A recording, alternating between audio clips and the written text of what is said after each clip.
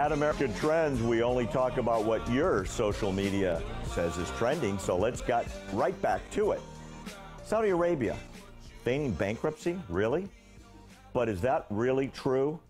My next guest has a 411 on it. He's a terrorism a- analyst and author of the book, The Brotherhood of the Red Nile Trilogy. Dan Perkins, welcome to the show.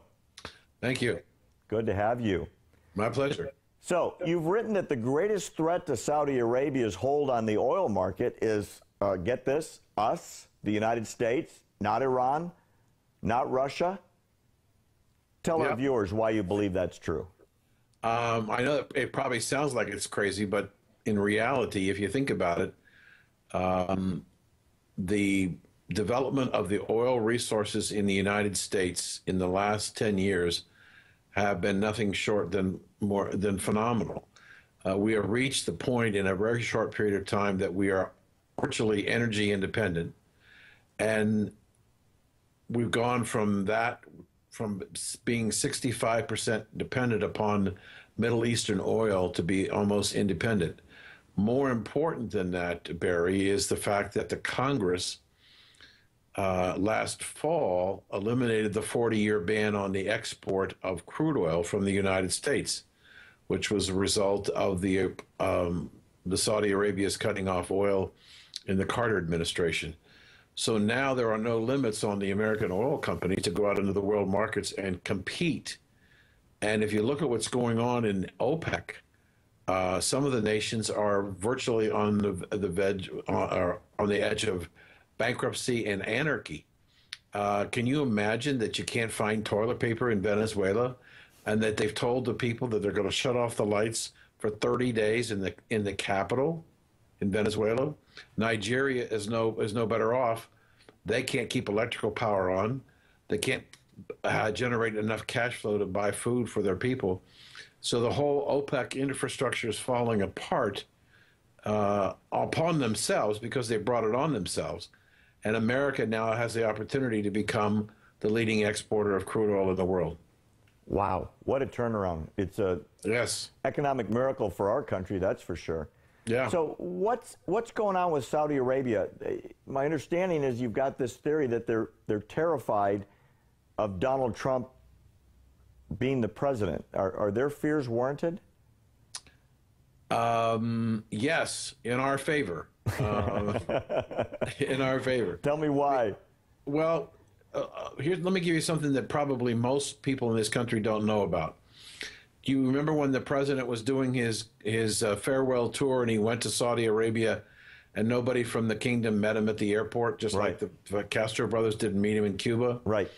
He wasn't really supposed to go there, unless he brought with him passage of uh, sign off on um, a permission from the White House to sell arms to Saudi Arabia.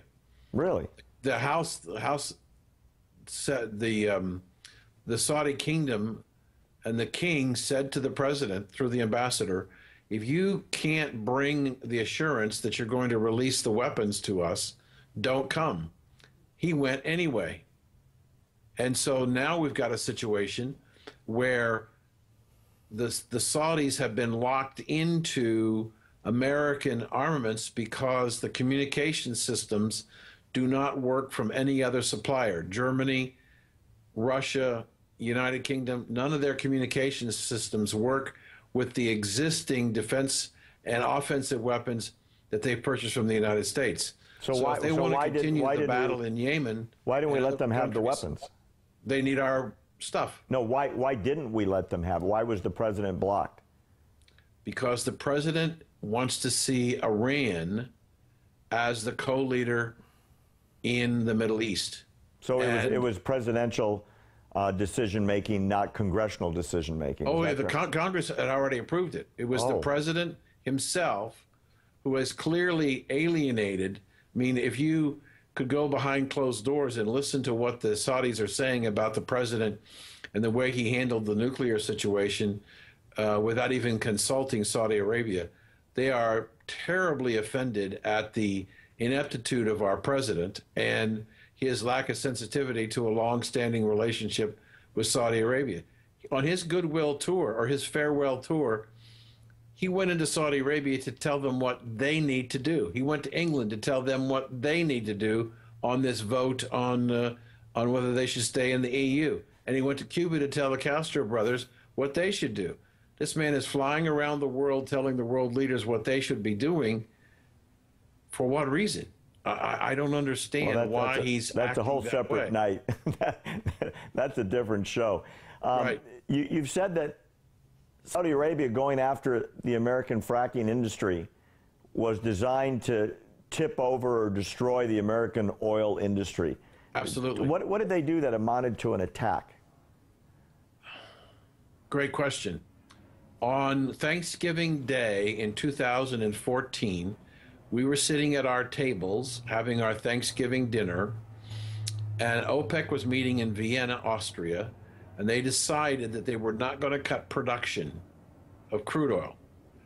That decision caused in one day the price of crude oil to drop almost $5 and started a slide that took it to $26 a barrel in February of this year. They said the weekend after Thanksgiving that the reason why they were not going to cut production is they wanted to drive the price down to drive the American frackers out of business. Got it. they saw them as competitors. Didn't work. They're still fracking. Uh, there's not as much as they were, but they haven't shut down. Just to give you an idea, Barry, right now there are 465 rigs drilling for oil and natural gas in the United States. Okay? That's way down, isn't it? Oh, from 2,100 a year ago. Right. Do you So- know how many are drilling in Saudi Arabia? Less? Nine. Oh, wow. They're leaving the oil in the ground. Right, nine.